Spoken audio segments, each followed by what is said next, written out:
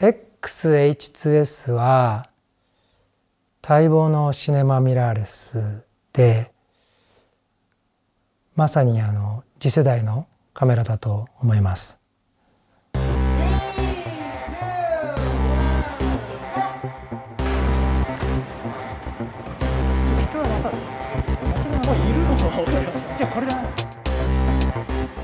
今回テストであの XH2S と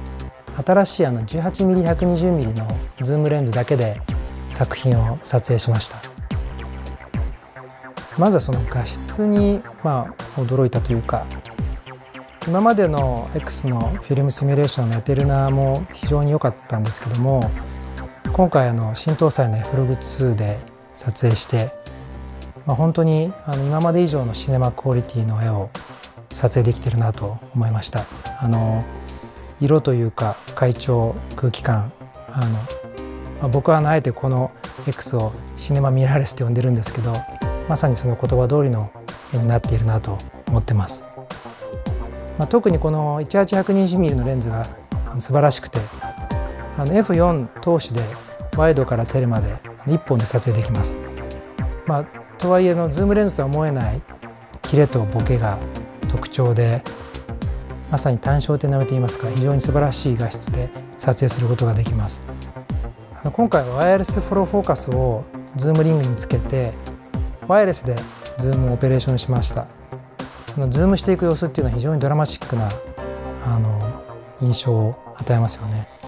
まあ本当にあのかつてない映像表現に挑戦できたかなと思ってます。とても撮影してて楽しかったです。またあのプロレスで内部記録できるっていうのがあのおそらくほとんどの動画制作者が喜ぶことだなと思ってます。プロレスというコーデックは、えー、高画質で高レスポンスであのどんな編集環境でもサクサク動くというそういったコーデックでおそらくあの最高の編集のワークフローがこれで作れるんじゃないかなと思ってます。4K120p とか 6K30 まで撮影できるというのも良くて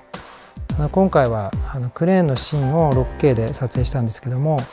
4K 解像度を保ちながら、まあ、あのダッチロールの効果を編集でつけました。解像度を失うことなく、まあ、いろんな加工ができるというのもよくてさらにあの今回の作品では VFX にも挑戦してるんですけども 6K の ProRes であの素材が撮影できてますので驚くほど 3DCG との合成がえー、うまくいってですね。まあ今まででは考えられないようなミラーレスとズームレンズの素材で CG に挑戦するということができました。もう本当に半日しかない撮影の時間の中で、えー、クレーンやスライダージンバルといったさまざまな特機に加えてですねそのズームのリモートコントロールなどあのいろんなあ撮影演出にこだわったりとかこの VFX のためにライティングなんかすごく入念に現場で行えたっていうのはもうなんかすごいことだなと思ってましてこの H2S のカメラと、まあ、レンズの組み合わせがもたらす機動力の高さを、まあ、物語っているなと感じてます。ミラーレスとズームレンズだけでここまでのクオリティの作品が作れるとは正直僕も思ってなくてなので H2S とこの 18120mm のレンズの組み合わせ